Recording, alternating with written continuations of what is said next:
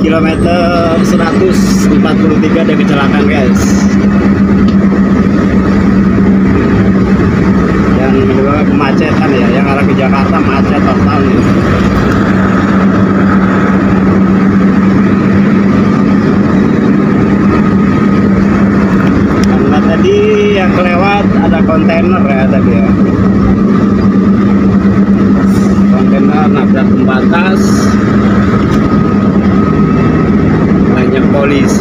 daanin